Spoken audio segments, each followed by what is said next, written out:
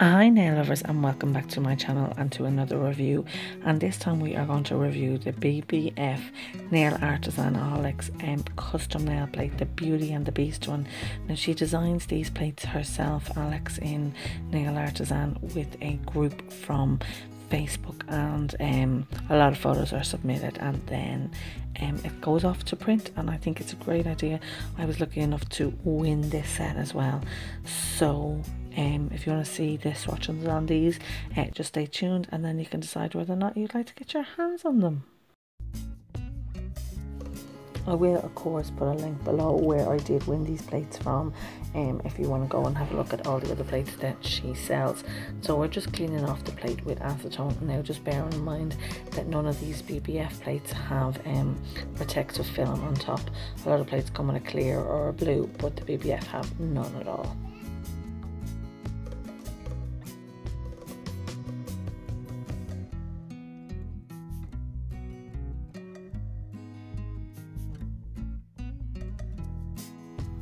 I'm actually just going to shrink this large image in the center because it would never fit on um, my nails um, or even a nail pump as you can see it's the full size of the um, stamper head so I'll shrink this um, and as you can see it's gone nice and small and that then would fit across your nails or onto um, some false nails then.